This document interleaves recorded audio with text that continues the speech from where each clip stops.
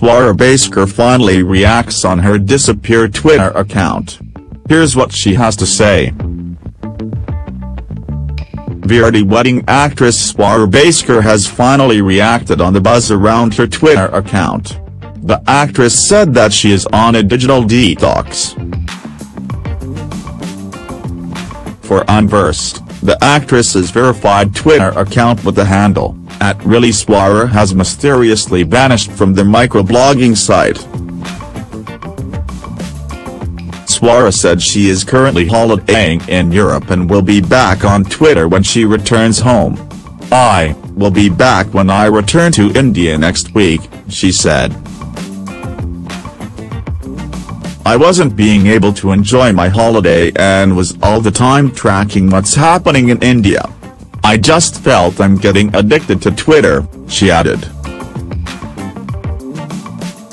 According to reports, the 30-year-old actor, who is a vocal critic of the central government went off the microblogging site due to incessant trolling on her posts.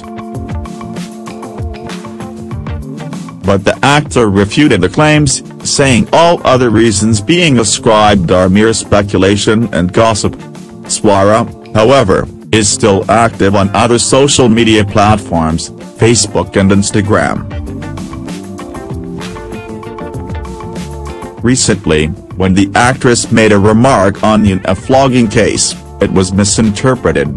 Twitterati thought that her tweet was aimed at Indian Army for Kashmir's Human Shield incident. For those living under a rock, a debate got triggered by a remark from Sadhguru, who said, Today, in the world, people who claim to be liberals are actually fanatics. Referring to the 2016 Una case where seven members of a Dalit family were tied to a jeep and thereafter beaten with rods for scanning a dead cow, Swara wrote, Some assholes with big caste pride, tied men to a jeep, flogged them publicly and recorded it.